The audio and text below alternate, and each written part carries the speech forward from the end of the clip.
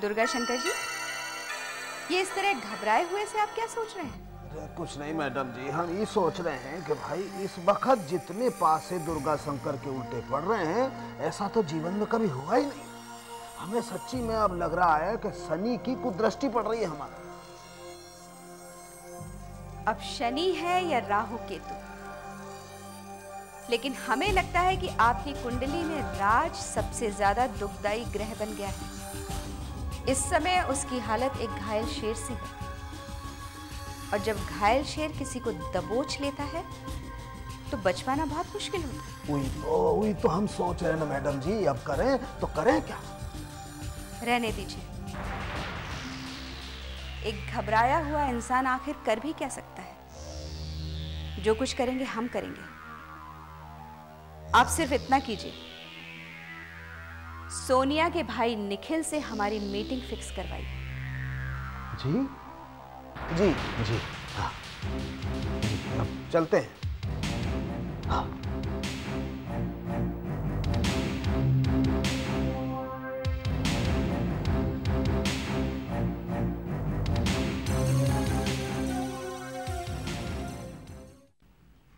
भाई आज हमें एक बात की बहुत हैरानी हो रही है। किस बात की? इस बात की कि रोज इतनी उछल कूद मचाने वाली लड़की खिलखिलाने वाली लड़की आज एकदम चुपचाप उदास गुमसुम सी क्यों बैठी? क्योंकि आज हमारा कहानी सुनने का मन कर रहा है। ए लो पहले बता दे जाता हम सुना देते हैं तुम्हें कहानी।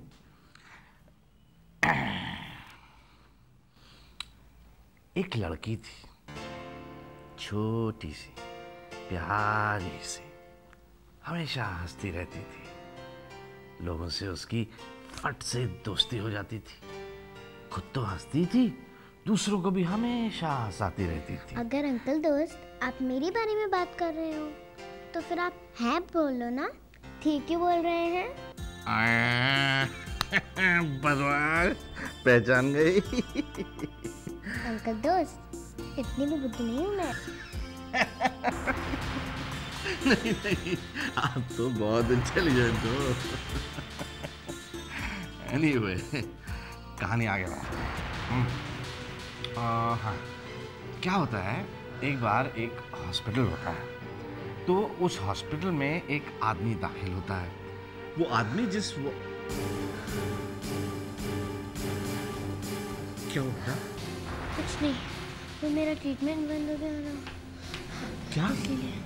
इसका ट्रीटमेंट बंद हो गया है। बेटा तुम्हें पता है इससे क्या हो सकता है? ईशा?